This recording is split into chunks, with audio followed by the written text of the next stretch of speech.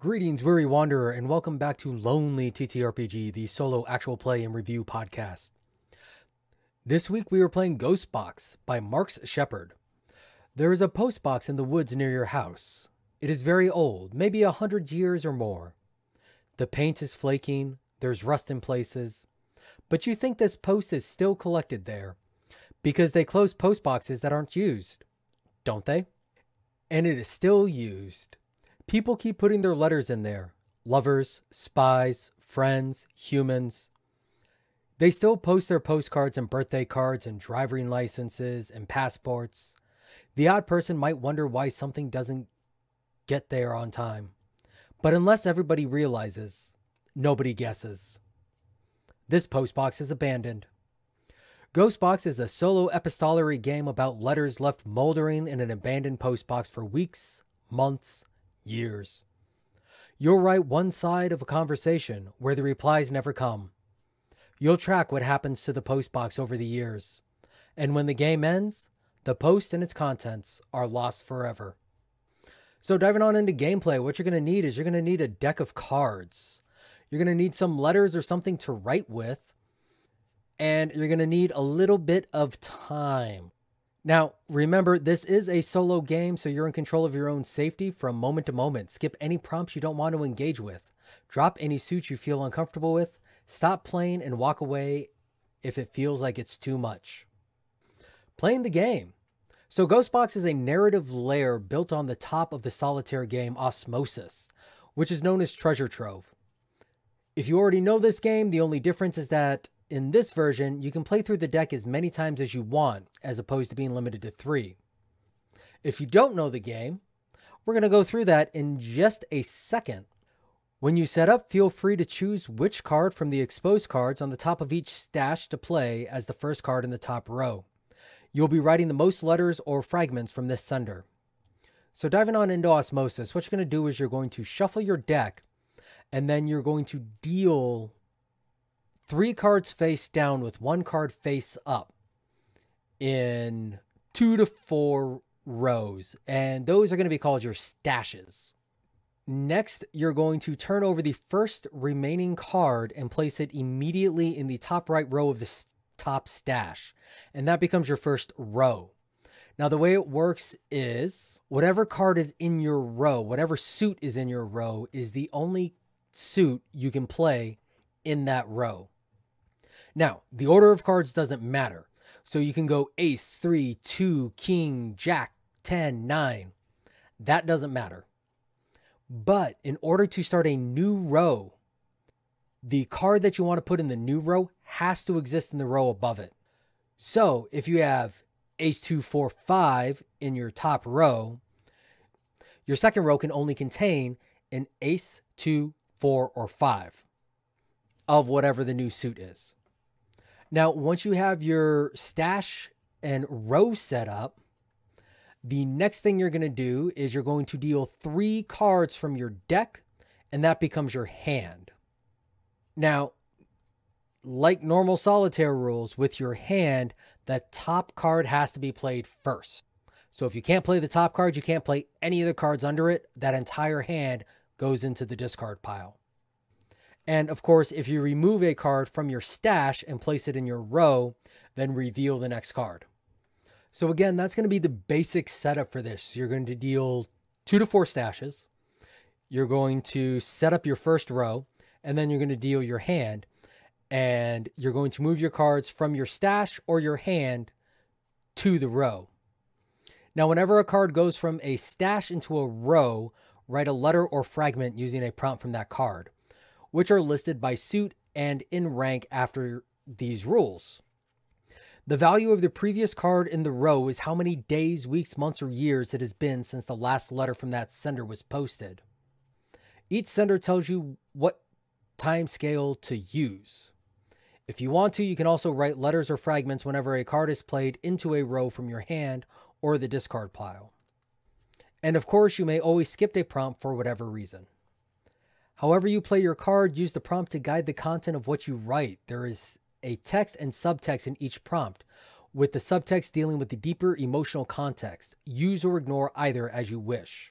For a full letter, address what you write to your subject and sign it from the sender themselves.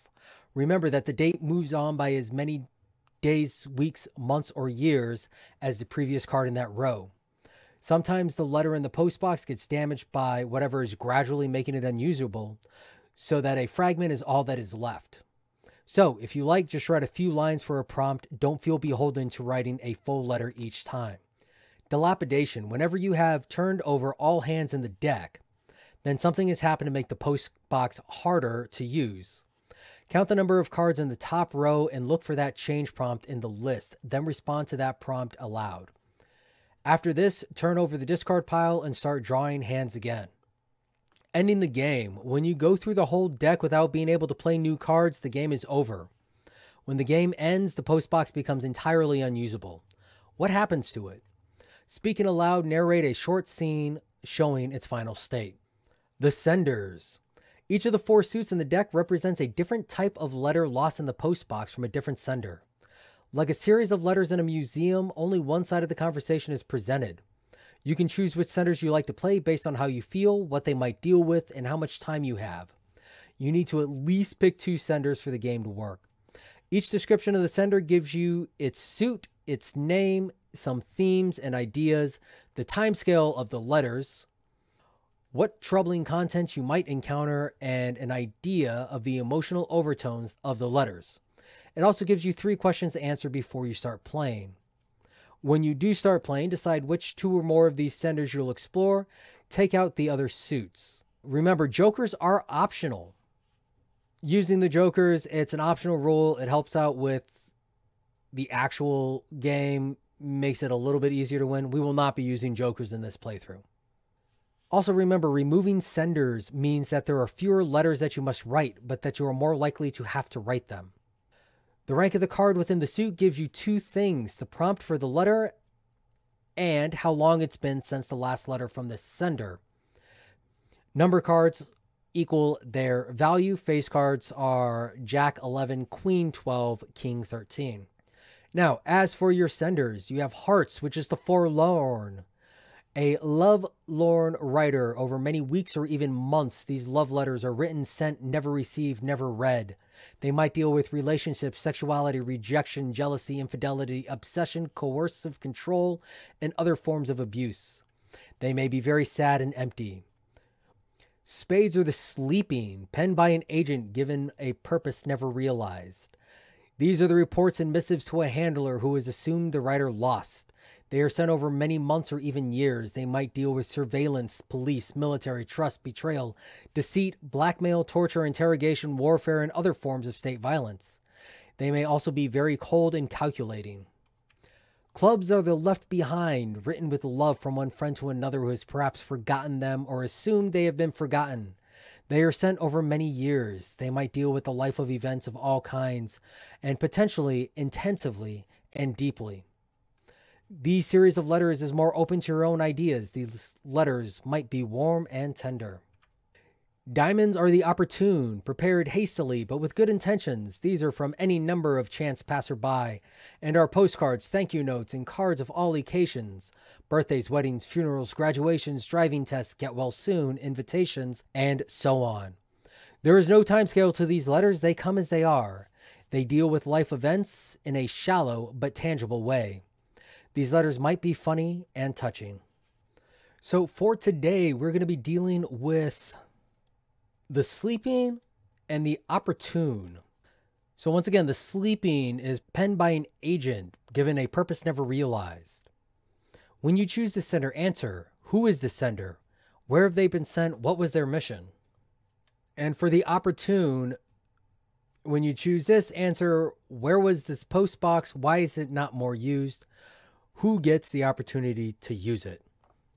But we're not going to answer those questions. Instead, we're going to dive right on in. So, the first card I got starting off my first row is going to be the Jack of Diamonds. So, the Jack of Diamonds, a raunchy seaside postcard. Why is it inappropriate? So, this is going to be a postcard from a a seaside pier and It's going to be one of those tourist piers. Think like Pier 39 over in San Francisco, but a little off the beaten track where they can get away with putting things on their postcard like give her the crabs that she'll enjoy. Now, in my stash, I have a five of diamonds and a three of spades.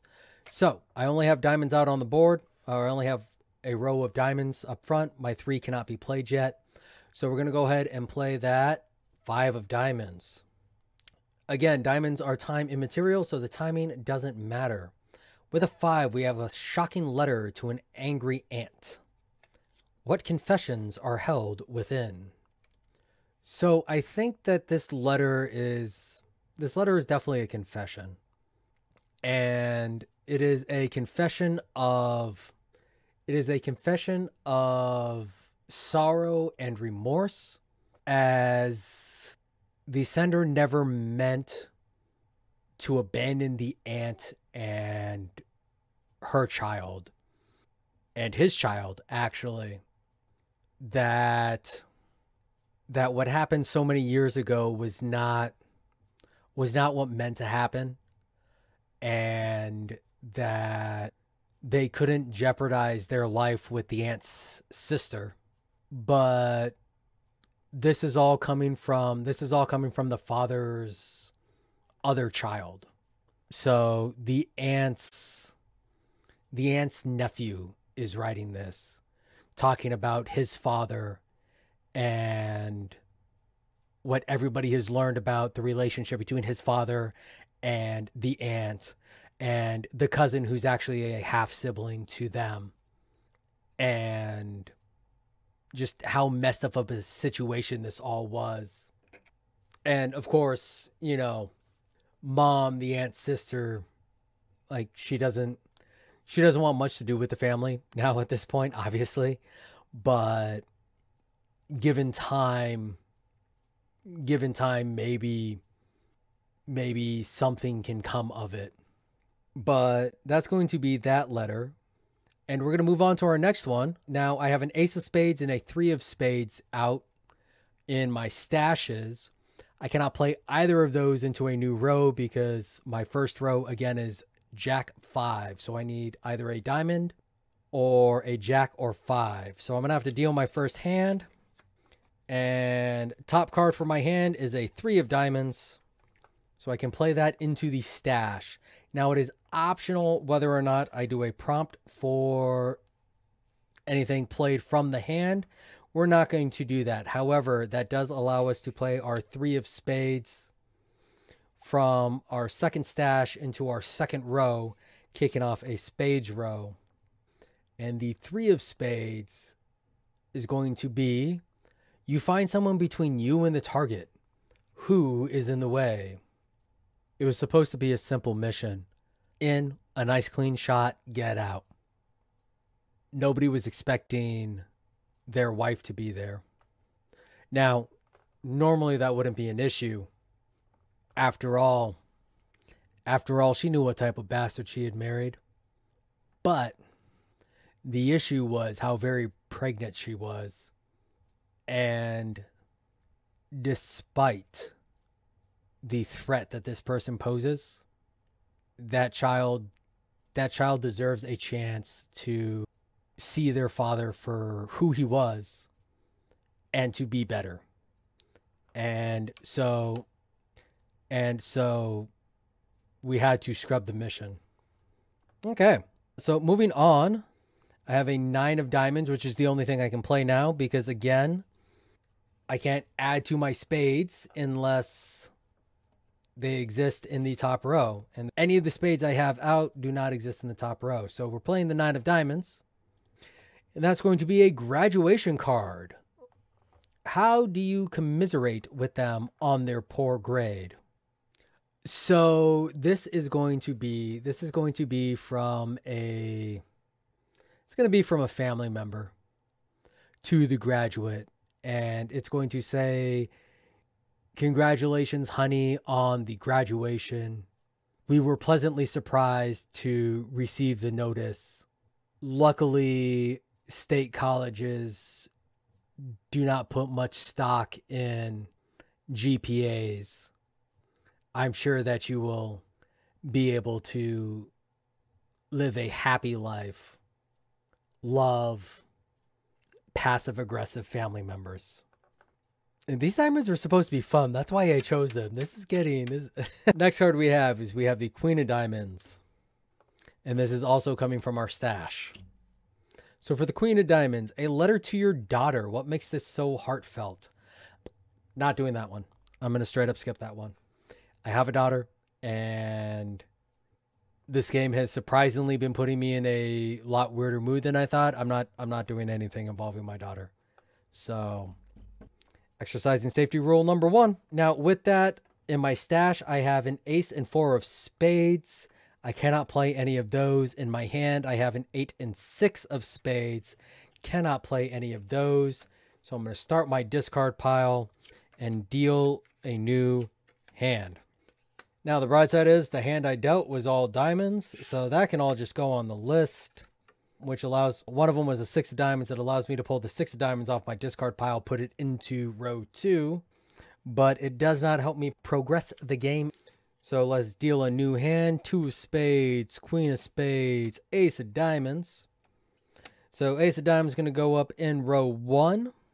I'm going to go ahead and put the queen of spades in row two. Two of spades can't do anything with, but I can move my ace of spades from my stash, row two. But that also means that I need to do the ace of spades prompt. And this will be one month later. So this will be one month after the failed hit.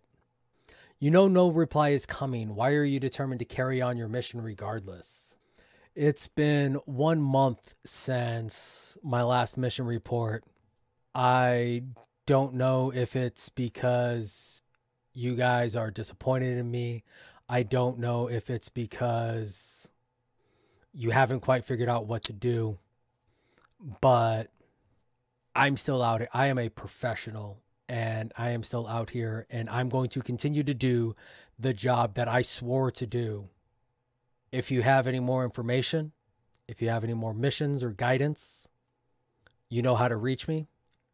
Otherwise, I'm going to continue mission with the last guidance and intent that I was given. Okay, next up, we're going to move a eight of diamonds from our stash into row one. And that's going to be an envelope containing only money. An envelope containing only money. That's it's not really much of a prompt to go off with that one. No one says who sent it, but like any envelope containing only money that's not going to have anybody's name on it.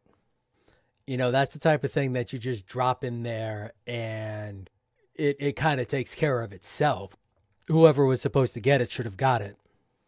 But with that eight of diamonds, I can move my eight of spades from discard to my row. But I cannot play my two of spades from my hand, so I got to move my two of spades to discard. I have a ten of spades and a four of spades still in my stash, which means I need to deal a new hand. And I can play a couple cards from my hand. I got a five and seven of spades. They match my five and seven of diamonds in my first row. Same thing with my jack of spades. All right, here we go. Next hand, I got myself a four of diamonds. So I can play that four of diamonds, which is going to allow me to play my four of spades from my stash, which is going to be another letter. Four months later. Your safe house has been compromised. This is going to be one of the last letters you receive from me for a while. The safe house has been compromised. I can no longer stay here. I need to find a I need to find a new location to hole up. I need to reestablish myself. We I'm going to be going under radio silence for a bit, at least until at least until I get everything re reassembled. All right, so looking at my last hand, I got a 10 of diamonds, which lets me place my final 10 of spades from my stash and giving me my final prompt. You follow a rule contrary to your best interest. Why are you upholding the system? And we're going to skip that one as well because that doesn't feel like a good ending ending prompt. But that that is Ghostbox by Marx Shepherd. This game was a lot different than what I was expecting. When I saw Marx advertising this months ago, I was super excited. I was like, oh, a letter writing game that I can do by myself. How fun, because I have no friends, so I have no one to write letters to. And that's also not a cry for attention. I wouldn't write letters if I had friends. I'm very poor at the maintaining social relationships. So, like, this was looking like it was right up my alley. And I was definitely expecting on something a little more lighthearted. Now, don't get me wrong, I like this. This is a this is a very this is a very good game. But yeah, there was a lot more there was a lot more opportunity for darkness. You know, I I ended up hitting a lot of dark notes in the opportune, which I chose that one because it was supposed to be the happy one. I didn't actually read through the prompts when I when I did it, when I chose it, but like that was supposed to be the happy one. But no, it was still it was still good. It was still good. I I probably should have gone with my gut and gone with the forlorn, the lovers one. But, you know, live, learn. Like I said, fun game. Definitely definitely enjoyed it. Definitely a I liked the I liked the add-on to basically playing a game of solitaire you know, as you saw, playing playing only two suits makes the game really short. You know, had I had I realized that at the time, I probably would have played three suits. But ultimately, it's fine. You know, I just wanted to give you guys an idea of what the game looked like, and it does look like a fun game. Really, my biggest complaint is that the rules for osmosis are not included with the game PDF.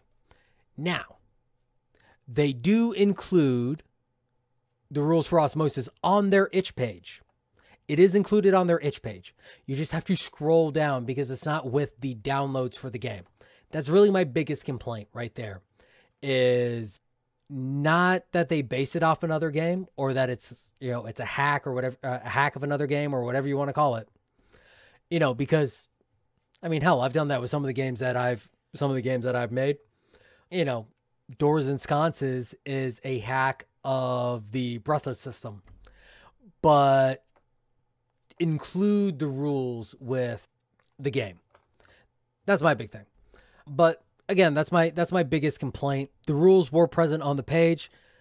You just had to go look for them. Another super nice thing they had is they had the they had a file so that you could set this up on a virtual board with links to that as well. I did not do that because I did not want to sign up for yet another yet another site that's just going to do nothing but send me emails.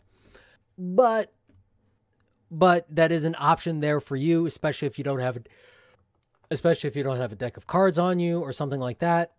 You know, you can you can get this file, you can load it up in there and you know, play online. But as for the gameplay itself, like I said, fun, unique, unique. I did like the I did like the building on a solitaire game rule set. Again, I played rules as written, but for y'all don't don't play with don't don't play with only two two suits. Play with all four suits. That way you have a reason and an opportunity to run through your entire deck to redo your discard pile so that so that you get the dilapidation, so that you get all of the other things for the game. Two two suits is not enough to really build on the game the way that I think that the author intended. It's fun, it's fine, it's doable. It allows you to play a game fairly quickly, but if you're going to play, play with all four suits. If you need to take a break, just take a break. It's fine. It's fine. It's going to be fine. Even if you don't finish the game, it's fine. Just start over again next time.